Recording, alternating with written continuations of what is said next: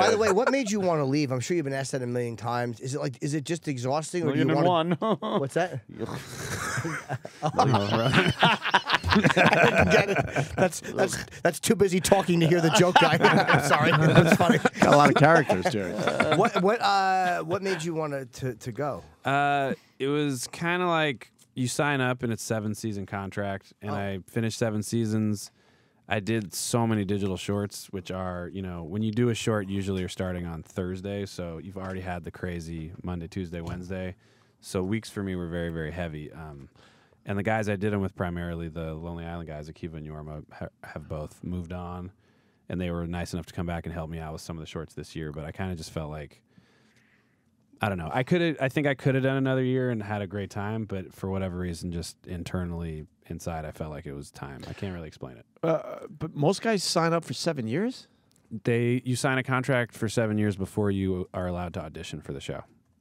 That if you get it, you seven will. years. Yeah, you're there for seven. But Wow. the truth is, if you get on there and you hate it, Lorne's not going to like sue you if you Right. leave. Right, gotcha. And if and if they don't like you, they just fire you. Right. So it's not like a binding seven year thing. What was the audition process like? Did you want to go out for it? Did they request to see you, or Oh, I was dying to do it. Oh, you wanted to. It to. was like my dream job since I was eight. It's crazy. Hmm. So I got the call being like, "Hey, you know, do you want to audition for SNL?" And I was like, "Fuck yeah, yeah, that's a pretty Um, good call. yeah." But I also had like no sketch experience other than stuff we had pre-taped and put on our website. Like we were always kind of like video guys. Um, Hmm. So I had to like kind of in a, a week throw together an audition. So I just I did a lot of stand up and then like sort of patch together some weird characters and impressions, but it it was more about the jokes I made in between the stuff I did, I think, than the other stuff that got me what hired. what impressions did you do for the audition for Lorne? I did Fallon. Um, Hmm. I did Jimmy Fallon at a funeral. Oh shit. Uh, he was- he was still pretty happy. um, and I Still pretty. Yeah. yeah. Oh, That's a great idea. sad. It's so sad. That's great. How's it going, man? Oh, yeah.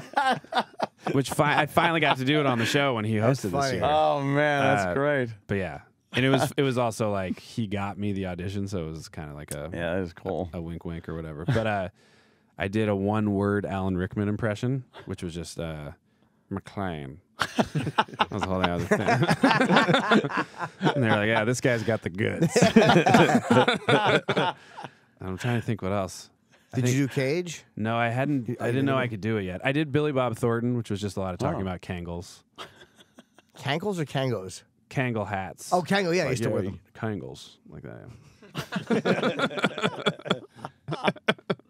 There's a uh, lot of one word hilarious. impressions. Like I tried to like get in and get out and be like, I seem fun. Yeah, yeah, that was Yeah. good. It's, But yeah. I, I wonder if you could do more words with those guys. It's- yeah, you want to leave them wanting more. Always, yeah. Like a second syllable. He does the best because he sounds just like that guy saying because.